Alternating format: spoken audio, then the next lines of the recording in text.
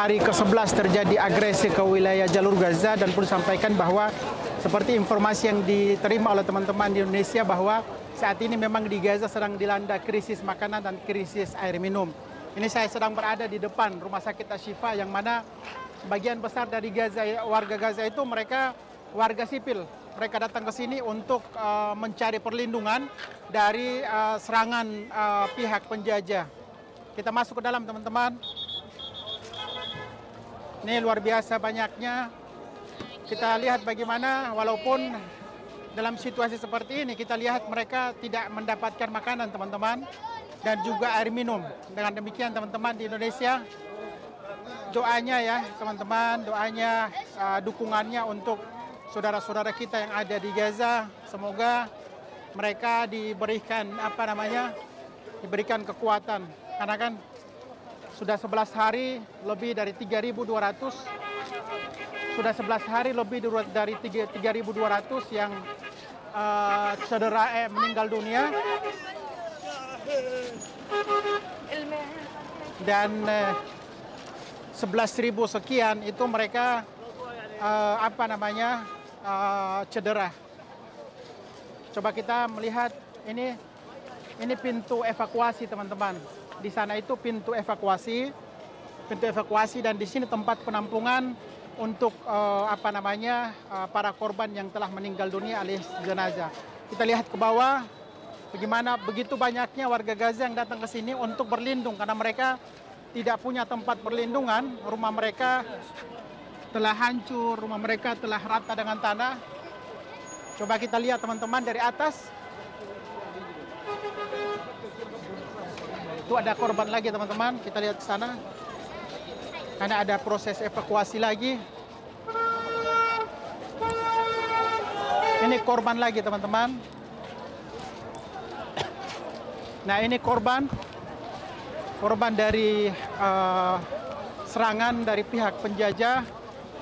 Dan sampai dengan saat ini seperti yang kita lihat teman-teman. Situasinya seperti ini teman-teman.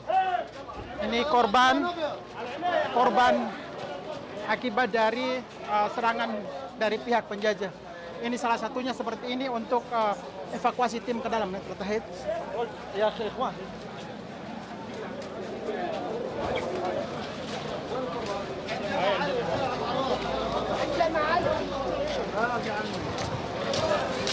Ini jenazah yang ditampung.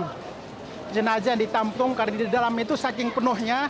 Dengan demikian, itu mereka uh, ini udah ditutup teman-teman. Kita turun ke bawah. Ini teman-teman jenazahnya di dalam. Nah itu jenazahnya di dalam.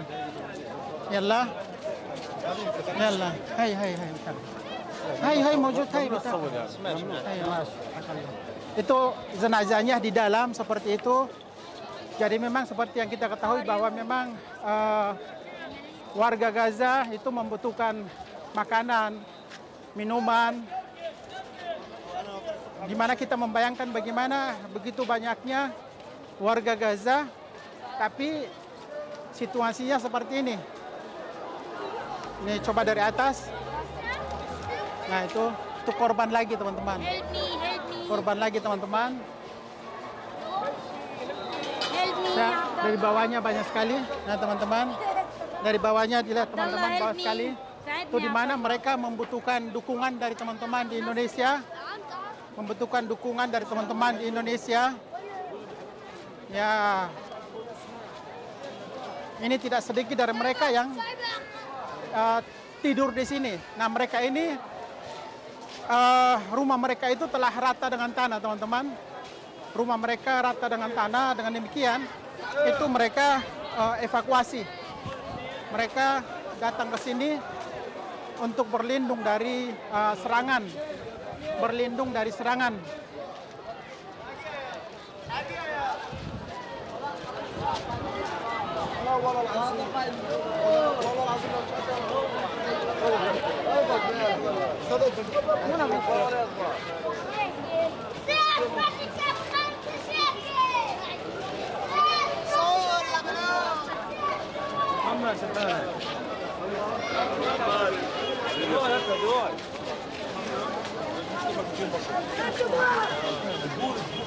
Ini mereka ini teman-teman, itu warga sipil. Warga sipil, anak-anak, wanita yang uh, datang ke sini untuk berlindung.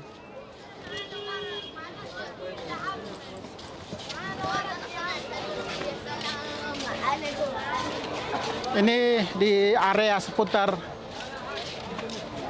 rumah sakit Ashifa itu sudah seperti uh, tempat pengungsian. Sudah seperti tempat pengungsian, teman-teman. Ya, mudah-mudahan kita bisa memberikan air minum dan makanan untuk mereka ya teman-teman. Semoga kita bisa memberikan air minum dan makanan buat mereka.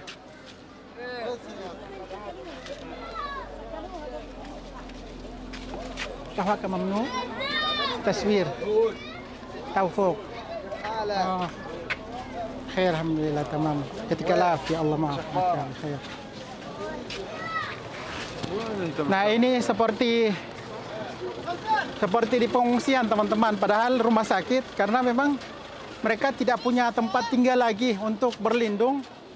Dan ini mayoritas dari mereka itu rumah mereka telah rata akibat uh, diterpa rudal dari pihak penjajah. Dengan demikian mereka berada di sini itu tidak tahu sampai sampai kapan mereka berada di sini.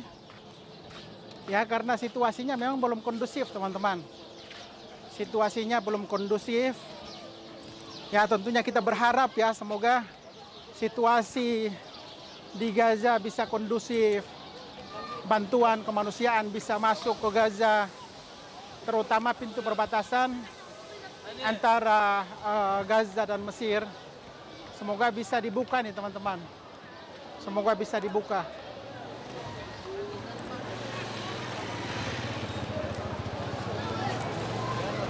Kita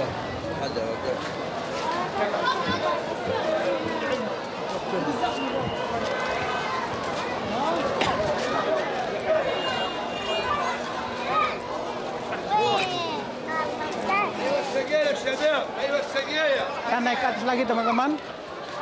Kita naik ke atas menuju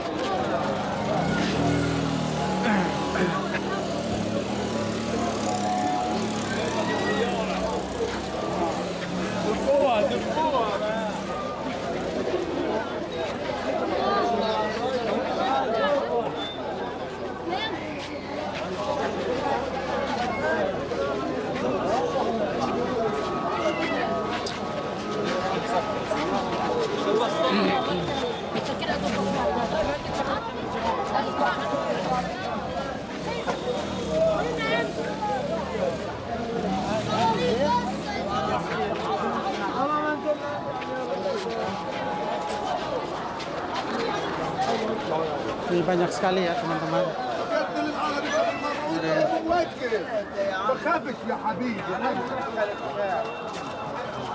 Ini ada korban lagi teman-teman.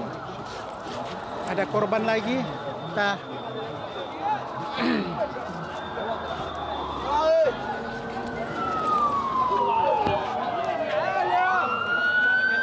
Ini ada korban lagi teman-teman.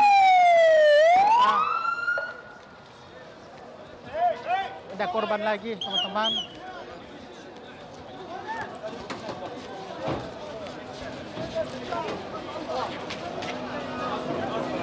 Ini korban anak, korban anak yang baru saja terjadi gempuran lagi.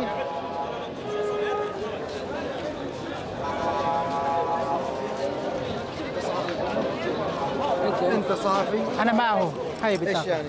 اخذنا تصريح هاي بطاقة هاي سفارة إندونيسيا في الأردن بعدين انا صحفي أنا ممثل يعني ما أنا سفارة اهلا وسهلا أهلا وسهلا. يعني مش أي هذا الكلام يعني مع بعض بعدين Ya itu salah satu teman-teman situasi yang memang masih terjadi di Gaza. Ada teman-teman tidak jauh dari sini ternyata tidak jauh dari sini ternyata kembali dibom oleh pihak ini teman-teman tidak jauh dari rumah sakit Ashifa terjadi pemboman tidak jauh dari rumah sakit Ashifa terjadi pemboman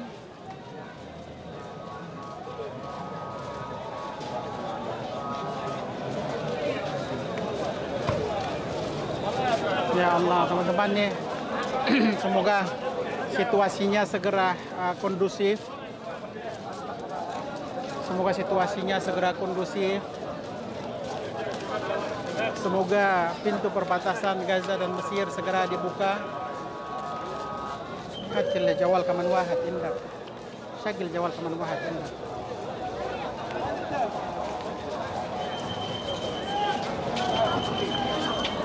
قول عليا هاي الرجاله اللي العمليات كلمني يا احمد احمد كلمني بس اشيل جوال Ya teman-teman saya sedang berada di rumah sakit Ashifa dan situasinya memang kritis dan situasinya memang uh, perlu dukungan dari ini teman-teman korban lagi. Ini korban datang silih berganti. Korban datang silih berganti akibat dari pemboman yang dilancarkan oleh pihak penjajah teman-teman.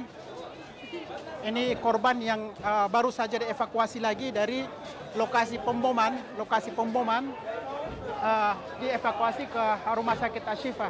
Dan ini anak bayi. Ini bayi, bayi terlihat mungkin sekitar tiga bulan. Bayi sekitar tiga bulan, teman-teman. Bayi sekitar tiga bulan bersama dengan ibunya, teman-teman.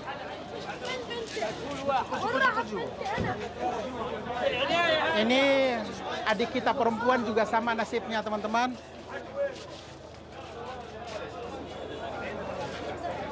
Jadi situasi di rumah sakit Ashifa memang teman-teman